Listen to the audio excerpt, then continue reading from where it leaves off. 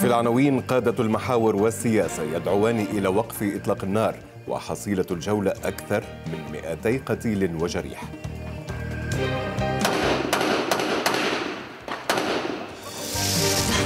بلدة الحصن وآخر لحظات الهروب.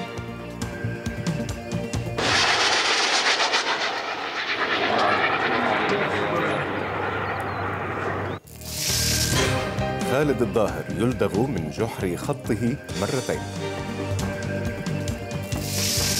ومن ذوي الاحتياجات الخاصة إلى أمهاتهم تحية Dear future mom, Tuo figlio potrà essere felice. Come sono io. وفي النشرة جديد نانسي ما تيجي هنا ما تيجي هنا وأنا احبك عشان اعيش على حسك. حبيبي ده انت الدنيا وأنا أموت لو غيري مسك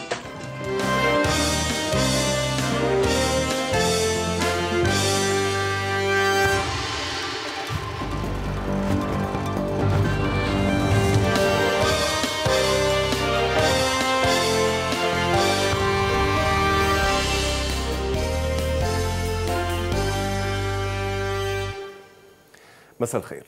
من المقرر أن يسري مفعول وقف إطلاق النار بدءا من الليلة تنفيذا لمطالب اجتماع اللقاء الوطني الإسلامي في منزل كبارة الذي طالب فعاليات التباني ومحيطها بوقف النار على إثر جولة حملت الرقم 20 وحصدت معها أرواح 25 شخصا.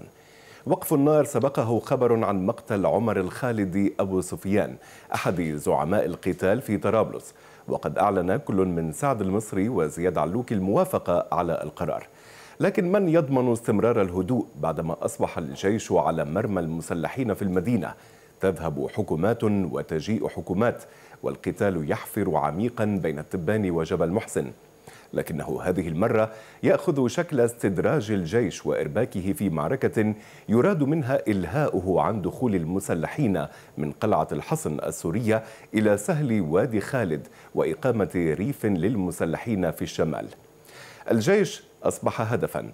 هكذا يقولها عسكريون على الجبهة.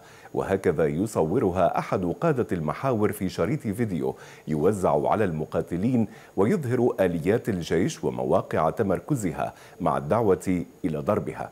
وتقول مصادر عسكرية للجديد إنهم يحددون لنا طريقة الرد وبأي سلاح نرد. يرسمون لنا خريطتنا العسكرية ويريدون منا أن نقبض على آل عيد.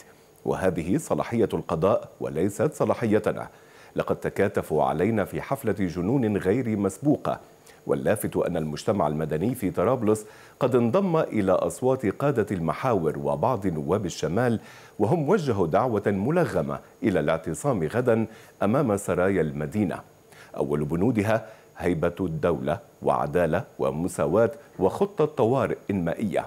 لكنها مذيلة بالدعوة إلى تغيير المسؤولين الأمنيين والعسكريين في المدينة. لكن هيئات المجتمع المدني ونقابات المهن الحرة لم تضمن تضمن اعتصامها أي دعوة مماثلة إلى تغيير قادة المحاور في طرابلس كي تكتمل عدالة المعتصمين. سياسيا المشهد مرهون بالأمن وعوامل تطوره وانعكاسه على الاستقرار والاستحقاق الرئاسي وحتى إن انتخاب الرئيس أصبح مشروطا بقدرته على ضرب الإرهاب. وهذه تباشير التدخل الأمريكي في الانتخابات الرئاسية في لبنان. ففيما لم ترشح أو ترشح واشنطن اسما ولم تمارس عادة التفضيل لفت أنها تضع للرئيس رسما تشبيهيا مع دفتر شروط نموذجي.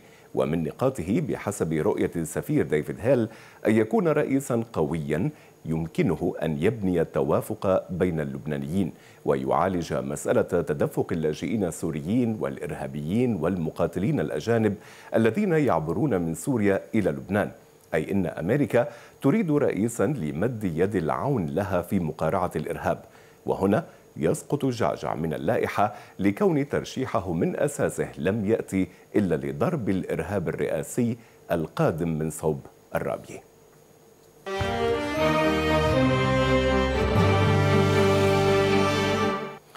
إذا في ليل طرابلس وبعد ارتفاع حصيلة المواجهات إلى أكثر من 25 قتيلا و175 جريحا.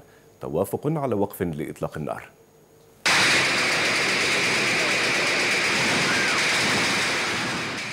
تصاعدت حدة الاشتباكات على محاور التباني جبل محسن ليلا موقعة حصيلة فاقت 25 قتيلا وأكثر من 175 جريحا.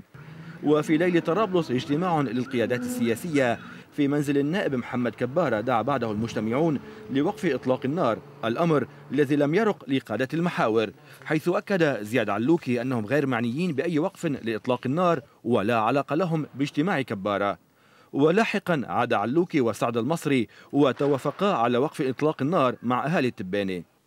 وفي الأمن أيضا سقوط أحد المقاتلين عمر الخالدي الملقب بأبي سفيان بشظايا قذيفة هاون خلال المعارك الدائرة ليلا.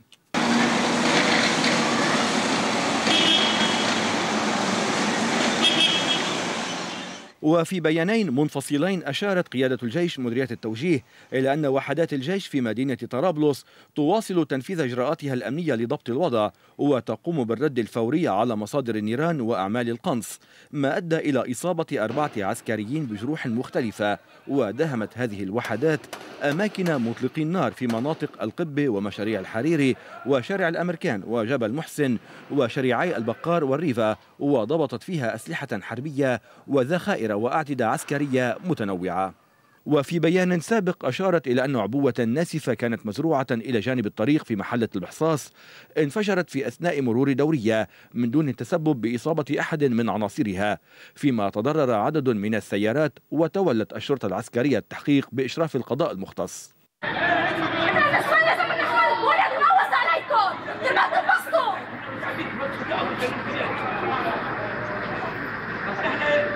الاستهدافات هذه وضعتها مصادر أمنية في إطار محاولة المسلحين فرض أمر واقع جديد على سياسي المنطقة والقوى الأمنية في آن واحد وذلك لاعتبارات عدة. منها تخوفهم من أن يذهبوا كبش فداء ضمن أي تسوية سياسية مقبلة ويريدون القول إنهم الرقم الصعب في المدينة.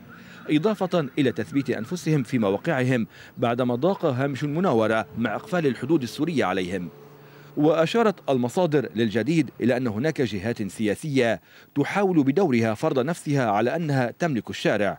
وقالت إن هناك ازدواجية خطاب عند معظم السياسيين الذين يطالبون بالعلن بفرض الأمن ومن تحت الطاولة يتذمرون من رد الجيش على المسلحين. وقد وزع شريط يظهر شقيق أحد قادة المحاور يحرض على الجيش ويكشف مواقع انتشاره. هذا حول البقار هذا حول البقار قدام منكم. أتصرفوا من عندكم بسرعة تصرفوا من عندكم لا يكون ملالات بقلب الشارع. هي من عدد الملالات اللي بقلب الشارع جوا. اتصرفوا بسرعة. على السريع الكل يتصرف. لا يكون ياخذ دبابي تحت. حاطين لنا دبابي برأس الشارع تحت. شفتوها؟ تصرفوا على السريع. واللافت أيضا أن هذه الجولة دخلت يومها التاسع حاصلة مزيدا من القتلى والجرحى والأضرار المادية. وقد اعتبرت الأطول بالوقت مقارنة بالجولات السابقة.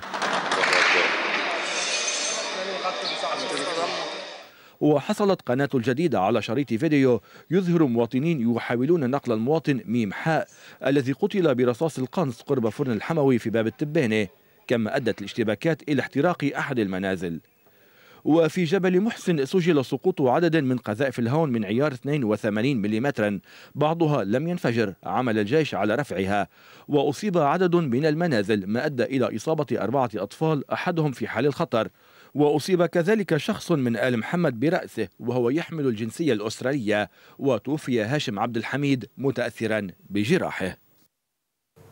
اتصل الرئيس الأمريكي باراك أوباما برئيس مجلس الوزراء تمام سلام مهنئا على ما تحقق من نجاح في تأليف الحكومة الائتلافية ومتمنيا له التوفيق في مهامه. وأكد أوباما لسلام أهمية إجراء استحقاق الانتخابات الرئاسية ضمن المهلة الدستورية ومن دون أي تدخل خارجي مشددا على أهمية الوحدة الوطنية وتعزيز سياسة النأي بالنفس.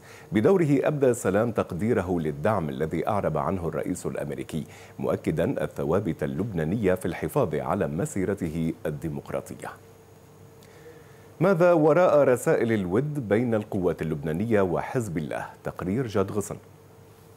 صعدت النائبة ستريدا جعجع منبر مجلس النواب والجميع كان ينتظر تمايزا عن كلمات الرابع عشر من آذار والقوات اللبنانية خارج الحكومة. غير أن قليلين توقعوا مغازلة عقيلة رئيس القوات لحزب الله. سأبدأ بالقول إنه بقدر ما توجد نقاط اختلاف بيننا كقوات لبنانية وبين شركائنا في حزب الله. بقدر ما توجد نقاط تشابه. ومع الحديث عن أن الكلمة جاءت في أجواء تقارب بين القوات والحزب يسارع النائب أنطوان زهرة إلى وضع الأمور في نصابها. اللهجة هادئة نعم المقارنة في مكانها بموضوع الوفاء للنضال وللشهداء عند حزب الله وعند القوات اللبنانية؟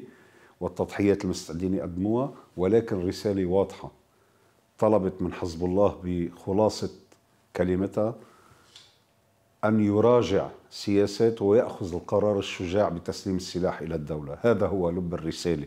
نحن ما نريده نعلنه علنا عبر المؤسسات عبر طاولة الحوار مجلس النيابي مجلس وزراء وخطابنا السياسي عم تحكي إنه علاقتكم مع حزب الله كلها فوق الطاولة وكلها واضحة صحيح. صحيح. كأنه في كونتراست عم ينعمل مع اجتماع الرئيس سعد الحريري ابدا عتبنا الوحيد صرت عيدها 100 مرة وقال الدكتور جعجع عتبنا الوحيد إنه ما عندنا مانع بحدوث اللقاء والاجتماع ونحن مستعدين نجتمع من مكان وهو كمان والعماد عون عتبنا الوحيد إنه بين الحلفاء بنسمع الخبر من الطرف الآخر بعد شهر عبر وسائل الإعلام. هذا كل العتب وكانت معلومات قد تحدثت عن تزايد الفتور بين جعجع والرئيس سعد الحريري بعد الإعلان عن اللقاء السري بين الأخير والعماد ميشيل عون وقرار المستقبل دخول الحكومة بمعزل عن القوات لتتفاقم الأمور عشية عقد احتفال ذكرى الرابع عشر من أذار في البيال حيث رفض جعجع إطلاع الحريري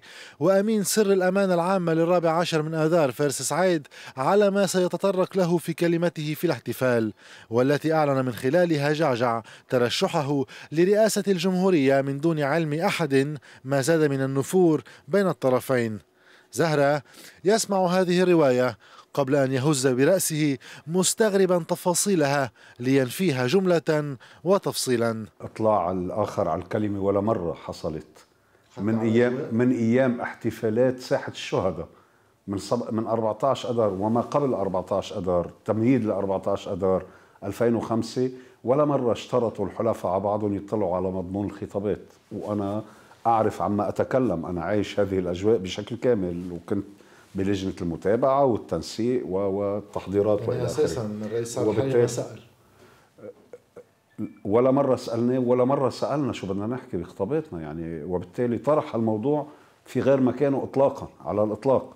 في المقابل تشير أوساط مقربة إلى كتلة الوفاء للمقاومة إلى أن الحزب كان مستعدا لمبادلة كلمة جعجع الانفتاحية بتحية في كلمة الكتلة غير أن كلمات النواب القواتيين الآخرين التي جاءت عالية النبرة غيرت التوجه خصوصا أن لا موقف محددا للحزب من إشارات القوات حتى الساعة.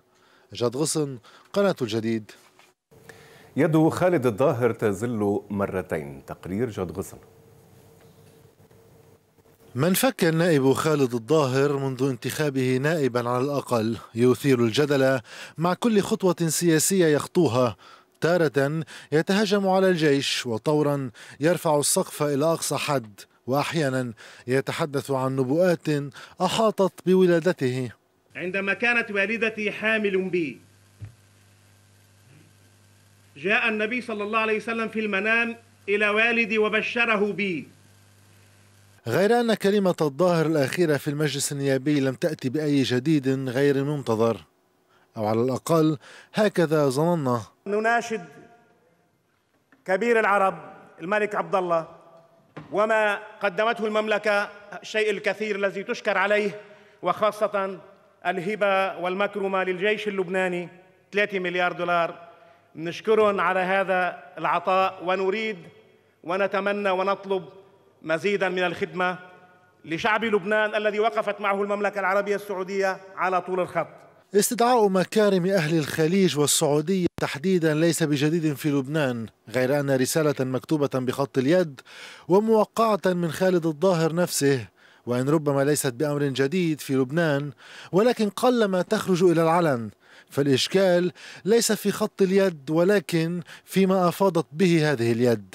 فبحسب الرسالة يطلب الظاهر من القائم بالأعمال في سفارة المملكة العربية السعودية في لبنان عبد الله الزهراني أخذ العلم برقم حسابه المصرفي في بنك البركة فرع طرابلس. مع الامتنان والشكر الجزيل طبعا. الرسالة مؤرخة في الثالث من كانون الثاني الماضي وممهورة وموقعة من النائب الظاهر نفسه. هذه ليست المرة الأولى التي تشطح يد الظاهر فيها.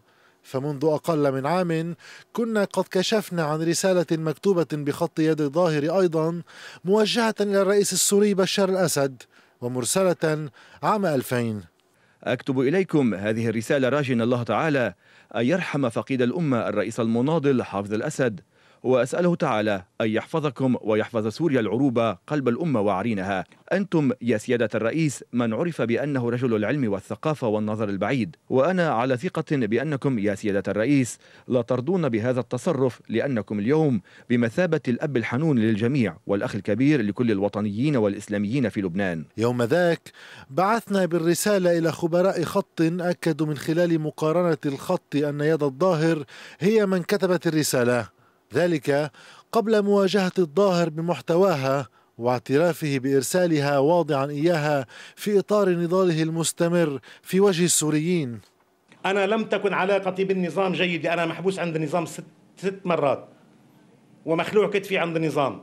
وأشقائي حبسوا أخي عمره كان 13 سنة ونص. أما إذا قارنا توقيع الظاهر الأخير بتوقيعه السابق لتأكيد أن يد مدح النظام هي نفسها اليد التي تعلم المملكة العربية السعودية برقم حسابها. فإليكم النتيجة. اتصلنا بالنائب الظاهر لسؤاله عن الموضوع غير أن صدره لم يكن رحبا. ألو. ألو مرحبا. يعطيك العافية أستاذ خالد. أيوه أهلا بيك. معك جاد غصن من تلفزيون جديد. مار يا أستاذ خالد أنا بس عم بتصل فيك بخصوص هيدي اللي عم بيتم التداول فيها بمواقع التواصل. غير أن الرسالة قد لا تثبت كثيرا هذه المرة فالله أعلم بدوافعها ومطالبها غير أن العبرة يجب أن تكون عند النائب الظاهر حتى لا نقول أن هذا المؤمن لدغ من الجحر مرتين. في المرة المقبلة لن أكتب رسائلي بخط يدي. جاد غصن قناة الجديد. آخر لحظات سقوط الحصن في ريف حمص الغربي. ولماذا هذا الانهيار السريع للمسلحين؟ تقرير لمفدنا إلى سوريا رامز القاضي. لا تقل معركة ريف حمص الغربي أهمية عن معركة يبرود بالنسبة إلى الجيش السوري. هناك بات قاب قوسين من تأمين الحدود عند سلسلة الجبال الشرقية.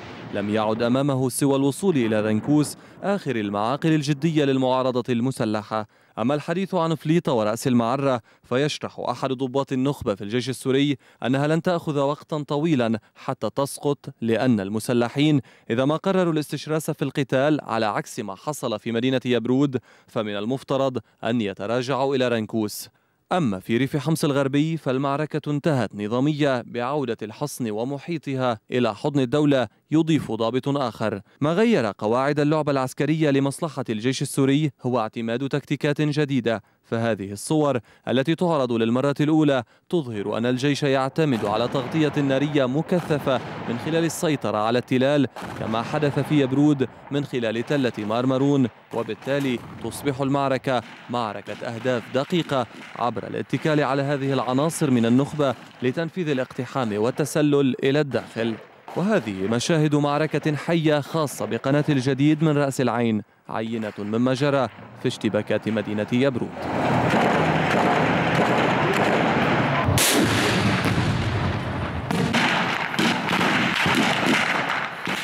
ولأن الحرب خدعة فقد نجح الجيش في استدراج المسلحين إلى السحل مثلا إحدى القرى المجاورة لمدينة يبرود والتف عليهم من تلال الكويت والقطر ما سهل سقوط المدينة في 36 ساعة.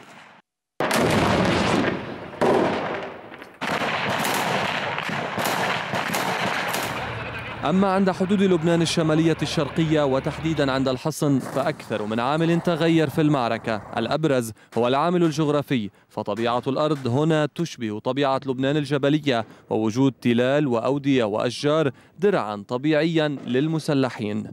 فناورت قوات الجيش بطريقة مختلفة واعتمدت مثلا على هذه الصواريخ الموجهة التي تعرض أيضا للمرة الأولى.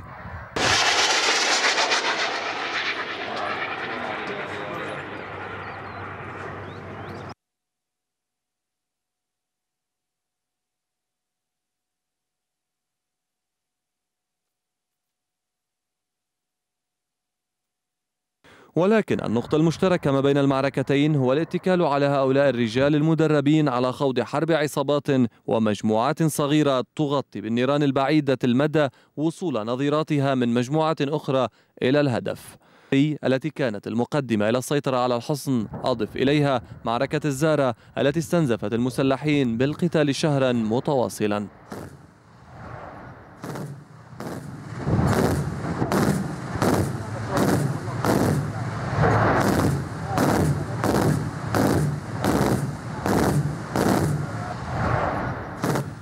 التحصينات التي كان يقيمها المسلحون كان يتعامل معها عناصر الجيش السوري بالالتفاف حينا والاستفادة من سلاح الطيران أو الدبابات لضرب أهداف دقيقة. وخلاصة هذا الكلام جغرافيا وعسكريا الجيش السوري أمن حدوده مع لبنان في وادي خالد وتل كلخ ولم يبقى أمامه سوى رنكوس والزبداني رامز القاضي قناة الجديد. هربوا من القلمون إلى عرسال فلم يجدوا أمامهم سوى العراء في انتظار المساعدة طلعت أنا وأولادي ثلاثة تركتهم. كل واحد بديري ما بعرف عنهم شيء واثنين جبتهم معي ما بعرف شيء هذه المرأة نموذج لأم أضاعت أولادها. فاطمة امرأة خسرت زوجها في الحرب الدائرة في سوريا. هربت من يبرود إلى عرسال. فتاها أطفالها على طريق الموت. لا يمر عيد الأم عليها. فمن يفترض أن يحتفل بفاطمة فقد. وجل ما تريده هذه الأم اليوم أطفالها ووطنها. هي واحدة من كثيرات وكثيرين هربوا من قرى القلمون إلى عرسال فلم يجدوا سقفا يحميهم. افترشوا الأرض والتحفوا السماء في انتظار من ينظر في حالهم ويقدم إليهم المساعدة. عايشين عايشين شوفت نظركم. لا أكل ولا شرب ولا شحار أسود. هلا. يعني أنا ما عندي حد يجيب لي ماجة خبز. أولادي كلهم صغار. وبنات برقبتي و... وابني وجوزي راحوا. يتنقلون بين الخيم القليلة التي حظوا بها. أطفالهم يلعبون في العراء. حياتهم كلها أصبحت تتمحور حول هدف واحد هو العودة إلى منزلهم وأرضهم والعيش في أمان وسلام. الجيش السوري يواصل عملياته في القلمون وأنباء عن اشتباكات عنيفة في ريف اللاذقية على الحدود التركية.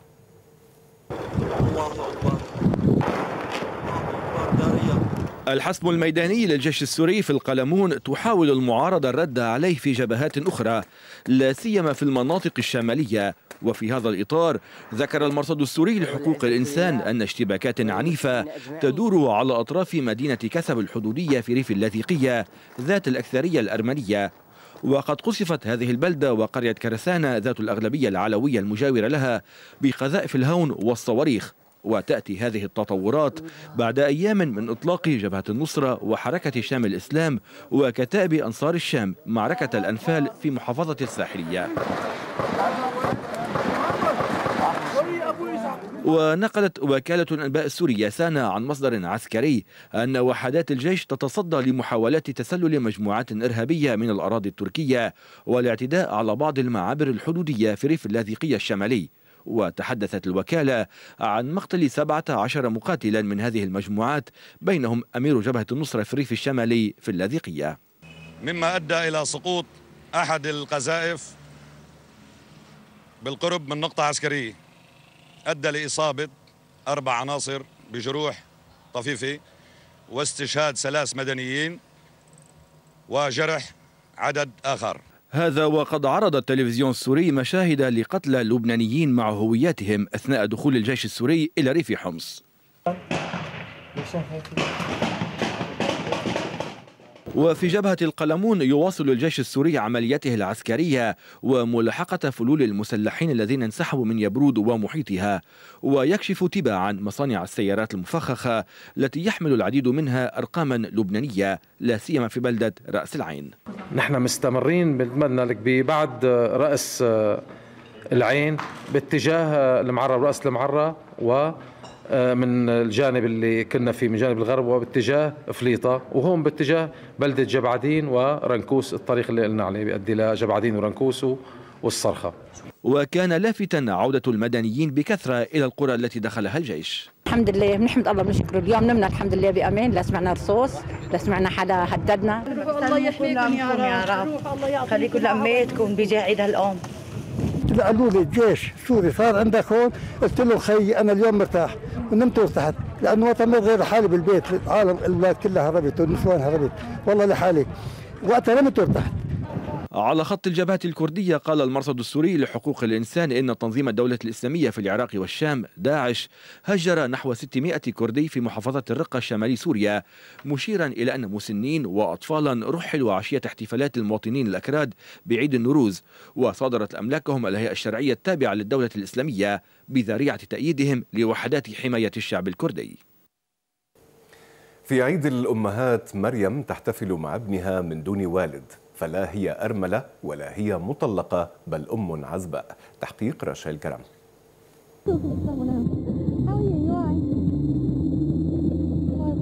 دقات قلبه كأي دقات قلب وحنانها هي كحنان أي أم. فما يربطها بابنها أعمق وأقوى من أي محرمات في المجتمع. مريم وهو اسم مستعار أم عزباء لولد عمره ثلاث سنوات. وبعد هذه السنوات والأشهر التسعة التي حملت بها ابنها اللقيط بحسب القانون تتحدث مريم. كنت حب حدا شخص حب كتير يعني وكان يفوت عنا على البيت و يعني مش عبر طريق مش مش عم نتسلى كنا. وصار صار علاقة وتبين إنه أنا حامل. الفرق إنه الفرق بيني وبينه إنه أنا تحملت المسؤولية بينما هو ما قبل ابدا يتحملها. بالأحرى رفضها كليا. بصراحة ما بعتبر حالي خفت لأ. يعني كنت بتمنى إنه ما ما اكون بهذا الوضع. بس أنا صرت فيه وقررت إني فوت فيها وأتحمل المسؤولية مزبوط ما ما فكرت إنه أنا هذا شو بده يعمل فيي بالمستقبل؟ انه أنت حتصير أم؟ منك مجوزه ماني مجوزة صح؟ يعني برفض انه أجهد إنه اقتله بالأحرى. وأهلي كمان إنه أكيد بيرفضوا إنه يقتلوا على إنه يعني نتحدى كل شيء مع إنه أكيد كانت صعبة على أهلي. تحسي حالك آه، أم عم تلعب دورها بشكل كامل بظل نقصان الوالد؟ مية بالمية. حتى أهلي بيساعدوني يعني. مع إنه أنا بشتغل آه، شغلتين بشتغل يعني تقريبا 12 ساعة بالنهار. كرمال أقدر امن له آه، يعني اللي لازم أعطيه يعني. تما أكون ناقصة عليه شيء يعني. عم بلعب عم جرب إني ألعب دور بي وأم مع بعضهم هو مبدا قدرت تسجلي ابنك؟ نعم. كيف؟ فترة سنتين ونص كان خلقان ابني و... وما كان بعد عنده لا هوية ولا آه، يعني ما عنده هوية تقدر أعمل له carte assurance مثلا تعمل له assurance يعني. كنت كل ما إذا جرب كنت اعطى هم كثير كنت ما نام آه، كرمال إنه خاف إنه أضطر إني أعوز مستشفى بتعرف المستشفيات أه ضليتنا سنتين ونص رجعت أخذت له يعني قدمت أخذت الحكم من بعد ما عملنا DNA وثبت البنوة. أنا جبرت اسجله باسمه لأنه حق ابني إنه ياخذ اسم بيو كيف حتخبري لابنك إنه أنت ابني بس أنا حدا عازب؟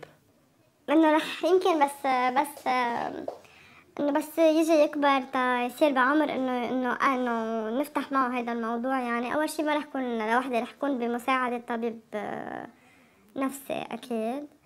و بتخافي من هال من ردة فعله؟ لا. إن شاء الله إنه ما بيكون في شيء سلبي يعني ابدا. ليه بدي أعيش بالذل؟ لأنه المجتمع ما بيعني الموضوع يلي مش قادر يتقبل الموضوع. ما عندي مشكلة إذا بعد عنه. صراحة. أنا أم عزبة وبفتخر. رشا الكرم قناة الجديد. أهلا بكم من جديد. بوتين وقع قانون انضمام جمهورية القرم ومدينة سيفاستوبول إلى روسيا. الاتحاد الأوروبي يهدد وموسكو تعد بالرد بالمثل. وهكذا عاد القرم إلى روسيا بعدما استكملت عملية ضم شبه الجزيرة إليها. ففي تحد واضح لزعماء الغرب وبينهم الولايات المتحدة الأمريكية الذين يقولون إن شبه جزيرة القرم لا يزال جزءا من أوكرانيا وقع الرئيس الروسي فلاديمير بوتين قانون انضمام جمهورية القرم ومدينة سيفاستوبل إلى روسيا وعلى تشريع بإقامة منطقتين إداريتين روسيتين واحدة للقرم والأخرى لسيفاستوبل. وأمام هذه الخطوة رأى الأمين العام للأمم المتحدة بانكيمون أن الأزمة الأوكرانية لا يمكن تسويتها إلا من خلال حل دبلوماسي يحترم سلامة أراضيها. وأوضح بعد محادثات أجراها مع رئيس الانتقالي ألكسندر تورتشينوف أن الحل السلمي يجب أن يبنى على أساس ميثاق الأمم المتحدة. الغرب من جهته واصل ضغوطه على موسكو إذ أعلن الاتحاد الأوروبي فرض عقوبات جديدة على 12 شخصية روسية وأوكرانية. وتشمل هذه العقوبات نائب رئيس الحكومة الروسي ديمتري روغوزين واثنين من مساعدي بوتين. في حين أعلنت باريس أنها علقت معظم نشاطات التعاون العسكري مع روسيا وخصوصا تبادل الزيارات والتمارين المشتركة. المتحدث باسم الرئاسة الروسية ديمتري بيسكوف أكد من جهته أن بلاده سترد على أي من العقوبات المفروضة عليها بالمثل. أغلق موقع تويتر في تركيا بحكم قضائي بعد شكاوى قدمها مواطنون بأن منتدى التواصل الاجتماعي ينتهك الخصوصية كما أعلن جهاز تنظيم الاتصالات التركي. يأتي ذلك بعدما تعهد رئيس الوزراء رجب طيب أردوغان بمحو تويتر وذلك في أعقاب ورود اتهامات بالفساد لأفراد بالدائرة المقربة منه. وفي وقت سابق قال أردوغان لا أهتم على الإطلاق بما يقوله المجتمع الدولي سيرى الجميع قوة الجمهورية التركية. وذلك بعدما نشر بعض مستخدمي تويتر وثائق يقال إنها تظهر دليلا على فساد متصل برئيس الوزراء. وأعلن مكتب أردوغان أن تويتر لم يستجب لحكم قضائي في تركيا بحذف بعض الوصلات وهو ما اضطر أنقرة إلى التحرك. وقال جهاز تنظيم الاتصالات في بيان نظرا إلى عدم وجود خيار آخر أغلق الدخول إلى الموقع تماشيا مع قرارات المحكمة بتجنب أي إيذاء محتمل للمواطنين. المواطنين في المستقبل. وقد لاقت هذه الخطوة انتقادات واسعة في أوساط الشعب التركي الذي طالب مرارا بمنحه الحرية على غرار سوريا ومصر وغيرها من الدول. في عيد الأم الانقسام الداخلي الفلسطيني يحرم فداء حضانة أبنائها. تقرير للزميل نزار حبش. في الوقت الذي يحتفل العالم العربي بعيد الأم تحلم أم فلسطينية بسماع كلمة أمي فمنذ تسع سنوات وفداء دبلان محرومة من رؤية طفليها كل ما تملك من أطلالهما شريط فيديو.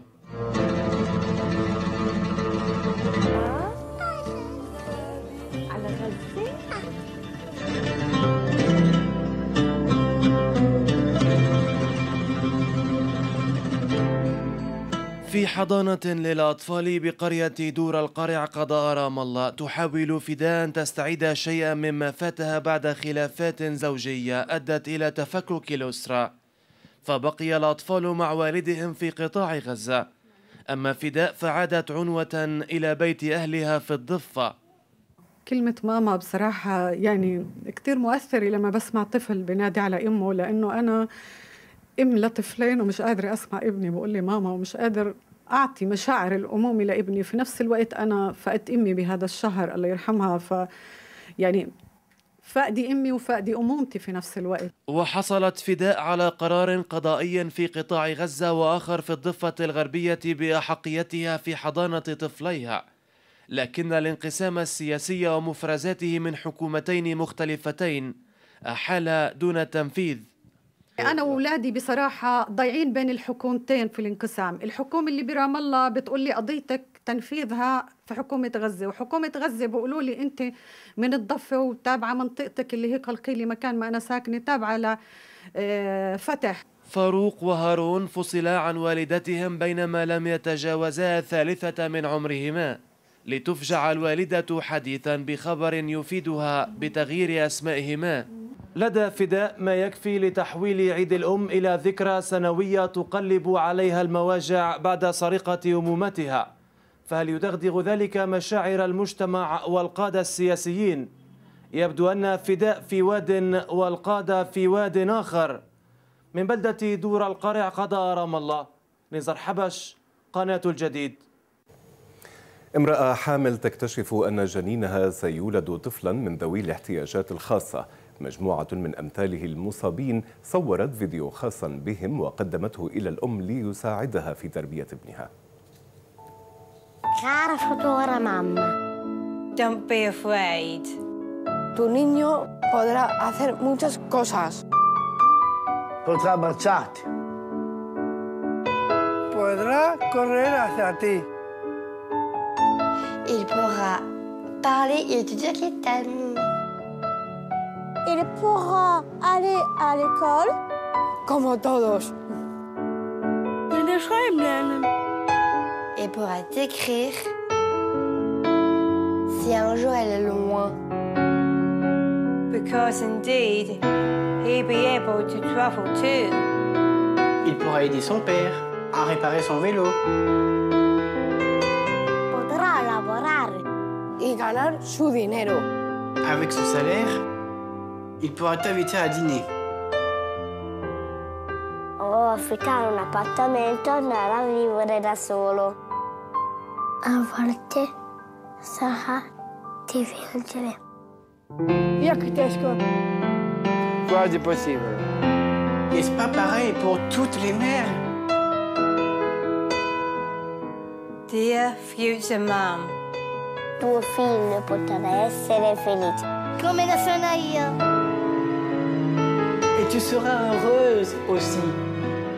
Vero mamma?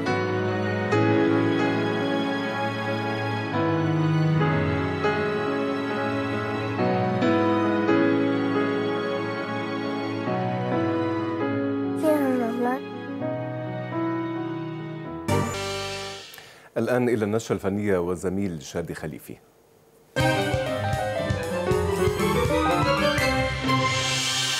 مساء الخير. بيستمر الفنان الشاب نصيف زيتون بمواصلة مسيرته الفنية بنجاح بعد الضجة اللي عملتها أغنية لرميك ببلاش جاءت أصداء أغنية وكليب صوت ربابة إيجابية. باللقاء مع نصيف زيتون شو بيقول عن جديده؟ وإذا طرقنا معه باب السياسة شو بيقول؟ ولا غاب عن برنامج أصالة نصر اللي استضافت جميع الفنانين تقريبا إلا هو. وكيف بيعيد الأمهات؟ بعيدهم اليوم.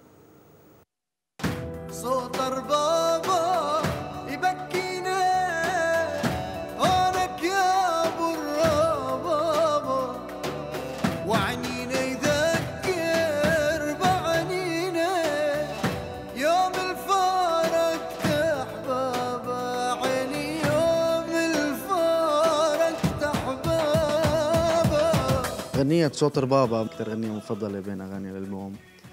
أه بس قعدنا وحكينا أنا والأستاذ وليد أه إنه إذا بدي صور الغنية مثل ما هي مثل كلامها نعملها بتخيل كنا بدنا نفوت بشيء صعب وطريق طويل يعني كثير فيها كلام وكثير فيها جو الغنية يعني اللي إذا بدنا نمثلها مثل ما هي كان شوي صعب وشوي بياخدنا على محل ما نحن بدنا إياه فعملنا الغنية أحاسيس ومشاعر. شو أنا؟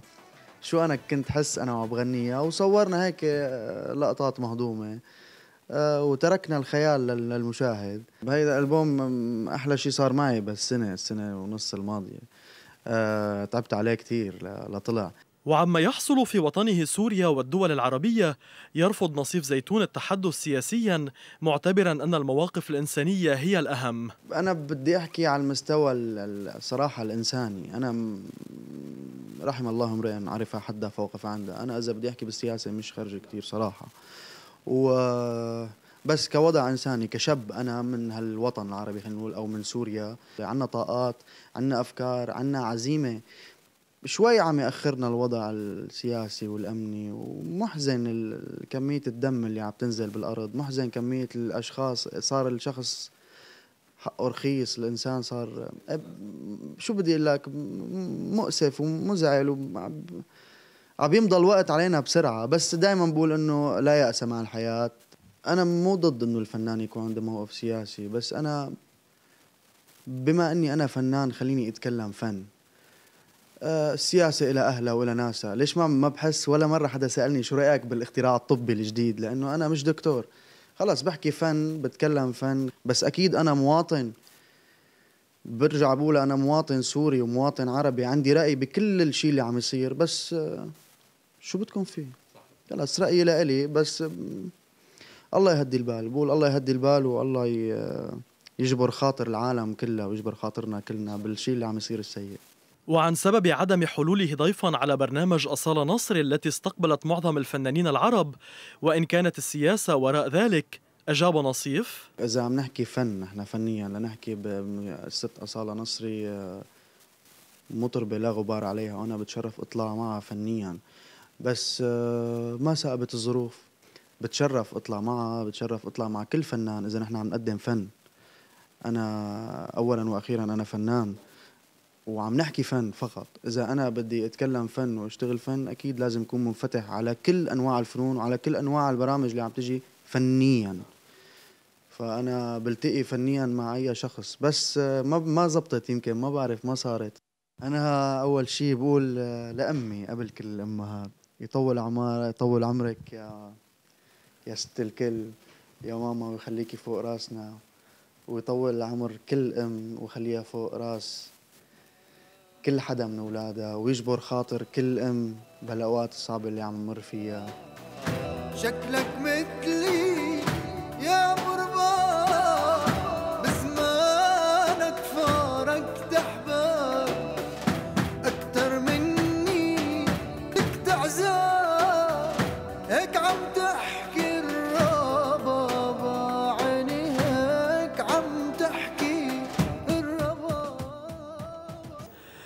وبالبانوراما الفنية نانسي عجرم أفرجت عن الكليب الجديد فبدت فيه مثيرة إلى أقصى الدرجات وحصلت إعجاب محبينها وليد توفيق عيد الأمهات بأغنية خاصة وبمصر شبكة دعارة باسم المخرج خالد يوسف بتهدف للإيقاع بالفتيات بحجة رغبتهم بالتمثيل وإدخالهم بنفق الدعارة.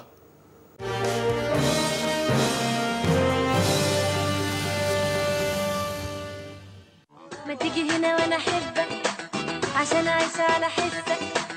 حبيبي ده انت الدنيا وأنا أموت لو غيري مسك ما تيجي هنا خد فكرة.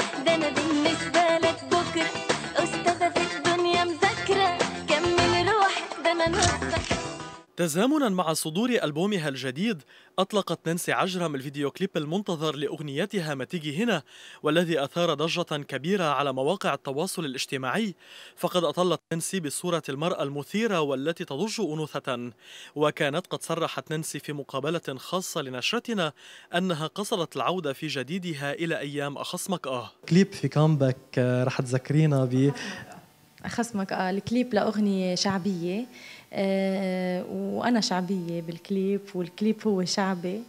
آه كتير حلو فكرة كتير حلوة من إخراج جو بوعيد آه صراحة جو كان يعني كان هيك يعني مبدع في هالك هالكليب. وأنا عطيته اللي بده إياه.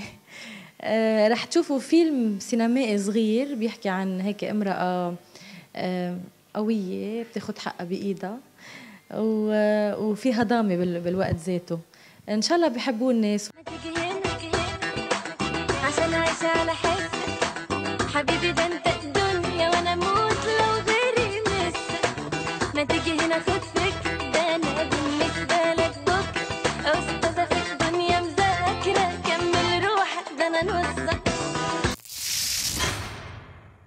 لمناسبة عيد الأم سجل النجم العربي وليد توفيق أغنية خاصة بعنوان رضاك علي يا أمي.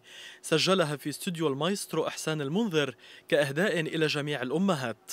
مهما دوب ومهما شوف بتضل الأحلام لو أحبابي صاروا ألوف بتضل الأغلام انت الحب اللي ما بيتغير. وكل ما كبرت يا ميم تبقى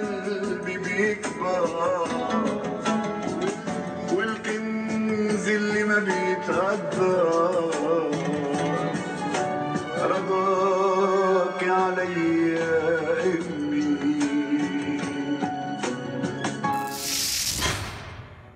يتم اصطياد فتيات مصريات راغبات في التمثيل بهدف إدخالهن في نفق الدعارة.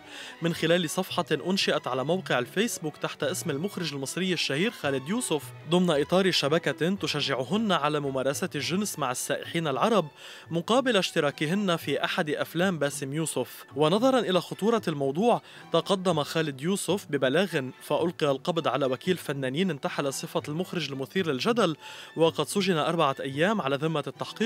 قبل اتخاذ الإجراءات القانونية اللازمة بحقه.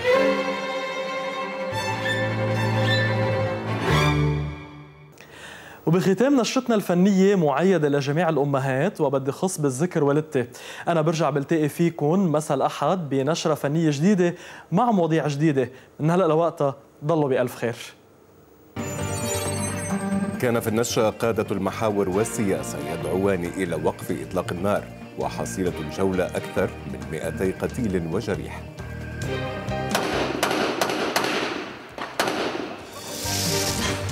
بلدة الحصن وآخر لحظات الهروب.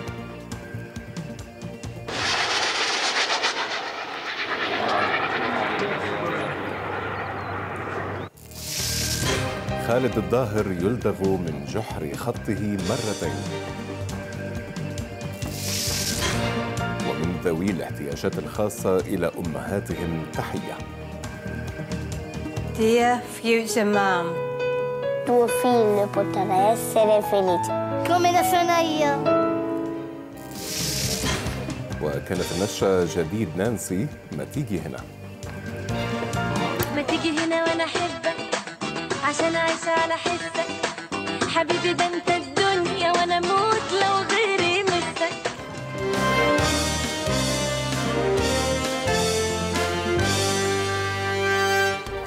دمتم بألف خير وإلى اللقاء.